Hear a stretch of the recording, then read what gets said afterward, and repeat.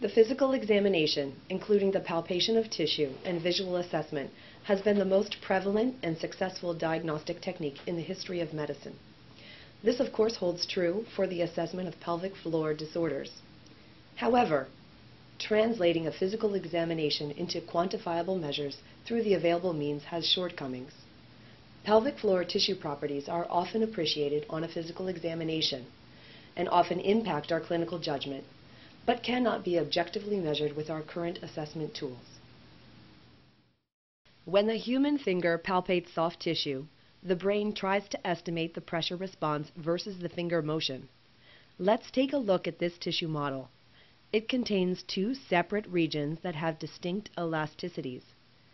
While different tissue characteristics may be detectable with side-by-side -side palpation, the human finger cannot distinguish these two regions in the model if they're separated in time or space. The brain cannot remember the finer aspects of tissue elasticity reliably. We can palpate the two regions using the probe and observe the resulting 3D tactile images. The software creates these images automatically by measuring the pressure versus the tissue displacement. This allows it to quantify the tissue elasticity and calculate the local Young's modulus. The tactile imaging device offers recordable and reproducible measurements for tissue evaluation. We define tactile imaging as a medical imaging modality that translates the sense of touch into a digital image. The tactile image is a function of the pressure P that is measured at coordinates x and y when the soft tissue surface is deformed. The tactile image is a pressure map of the examined tissue.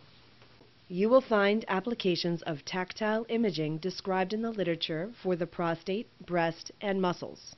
In current presentation, we will talk about vaginal tactile imaging. The objective of this study is to identify new tactile imaging and muscle contraction markers to characterize female pelvic floor conditions. We designed a new vaginal tactile imaging probe that images the entire vagina, the pelvic floor structures, and pelvic floor muscle contractions. The probe has an orientation sensor, temperature sensors, and 96 sensors positioned 2.5 millimeters along both sides of the exam probe. It is preheated to a normal body temperature before the examination. We will present a demonstration of the technique with a silicon model for better clarity. The examination procedure includes four steps. Step 1. Probe insertion. This step provides the pressure responses for the anterior and posterior compartments along the entire vaginal length. We can use this information to calculate the pressure gradients in anatomical dimensions. Step 2. Probe elevation. This step provides the pressure responses for apical, anterior, and posterior compartments that are related to the pelvic floor support structures. We can use this information to calculate the pressure gradients in anatomical dimensions. Step 3. Probe rotation. This step provides the pressure patterns for the left and right sides of the vagina and the circumferential tactile image of the vaginal walls. We can use this information to detect irregularities related to underlying muscles or tissue abnormalities, such as foreign body implants, scar tissue, hypertonic muscles, etc. Step 4. Pelvic floor muscle contraction. This step provides the muscle dynamic pressure responses of the pelvic floor muscle contraction recorded from opposite sides along the entire vaginal length. In 2013, we enrolled 22 subjects into an observational case-controlled study. The analyzed dataset includes 20 subjects aged from 41 to 70 years. A standard physical examination was performed by a urogynecologist. The subjects were asked to complete an assessment of comfort and pain levels for the tactile imaging procedure. The tactile imaging data from all of the examinations was consolidated into a single data set with no knowledge of the subject's pelvic floor to avoid bias in data selection processing. The clinical information was then added to this dataset after the tactile imaging data, pressure, pressure gradients, muscle contracting response was finalized. One-way analysis of variance, paired t-test, and Pearson's correlation coefficients were calculated to determine whether the various parameters showed dependence on the pelvic floor conditions. All 22 patients were successfully examined using the vaginal tactile imager. As an example, we will show you the clinical results for one tactile imaging examination on a 59-year-old patient with pelvic organ prolapse in stage 2. The probe insertion reveals the tissue distribution along the anterior and posterior compartments for the entire vagina. We have identified four parameters that are potential markers for pelvic floor conditions. They demonstrate good correlations from 0.52 to 0.58 with the normal and stage 1 to 4 conditions. They also demonstrate changes due to patient age and parity. This step provides the pressure responses for the apical anterior and posterior compartments that are related to the pelvic floor support structures.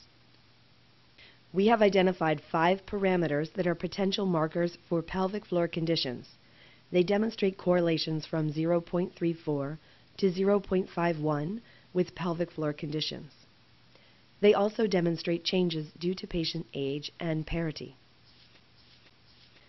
This step provides the pressure patterns for the left and right sides of the vagina. This is a circumferential tactile image from the vaginal walls.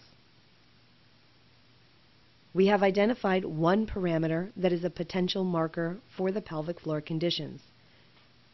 This step provides the muscle dynamic pressure responses from pelvic floor muscle contractions recorded from opposite sides along the entire vagina. We have identified four parameters that are potential markers for pelvic floor conditions.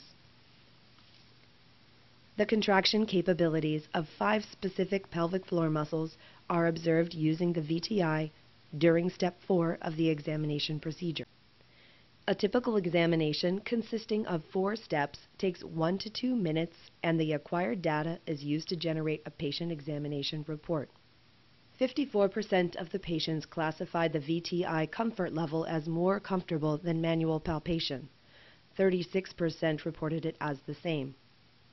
73% of the patients classified the VTI pain as none, 24% as mildly painful, and 3% as painful. Our findings suggest that the tactile imaging markers such as pressure, pressure gradient, and dynamic pressure response during muscle contraction may be used for the quantitative characterization of female pelvic floor conditions. This research is being supported by the National Institutes of Health, National Institute of Aging. Thank you for your attention.